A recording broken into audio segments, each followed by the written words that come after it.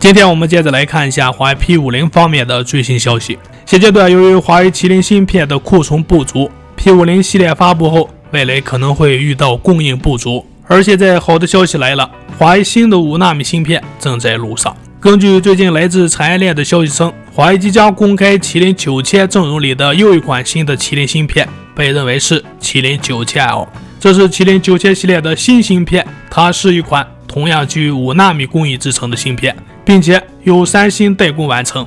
华为 P50 被确定会使用该芯片，但新品发布时间就可能会延期到五月份。现在华为新的麒麟 9000L 芯片曝光后，遭到了外界的讨论。据报道，华为 P50 标准版将首先使用麒麟 9000L 芯片，它采用三星的五纳米 EUV 工艺，总体设计与麒麟9000和麒麟 9000E 芯片相似，但是性能相对来说会有一定的缩水。麒麟九千 L 芯片的出现，据说是三星公司与日本和欧洲的制造商合作，使用非美国的设备建造了一条小型生产线。麒麟九千 L 正是采用了这种方案，依靠三星的五纳米工艺生产的芯片。虽然这是传闻，但这一切官方并无消息公开。一旦麒麟九千 L 芯片出现，那么意味着 P50 系列三款型号将由三颗不同的芯片分配使用，以保证产品供货足够。可以推测得到，华 P50 系列这次的三种芯片分配分别是：华 P50 使用麒麟 9000L，P50 Pro 使用麒麟 9000E，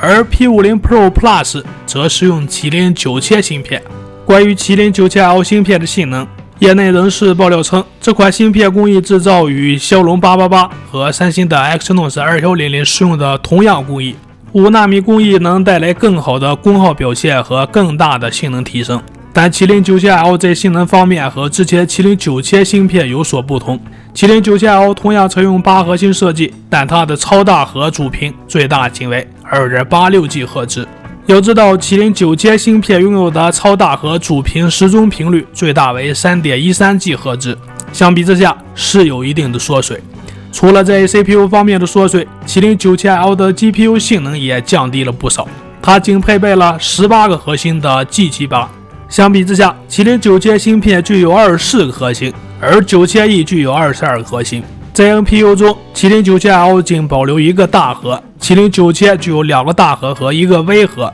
而九千 E 具有一大核和一小核。最终分析麒麟九千 L 芯片与麒麟九千和九千 E 的区别，它们似乎有相似的构架，是小幅度缩减了 CPU 的性能。而 GPU 和 NPU 的下降幅度相对较大，因此该芯片的表现和图像性能也随之落后。具体的说，麒麟 9000L 的实际表现，猜测应该在高通骁龙865和870的性能之间，应该赶不上骁龙870的性能。虽说这是麒麟9000阵容中性能最差劲的芯片，但这并非全是坏事，这也可使华为 P50 的价格可能降低。以上就是本期的所有内容，欢迎关注、点赞和留言互动。下期内容我们再见。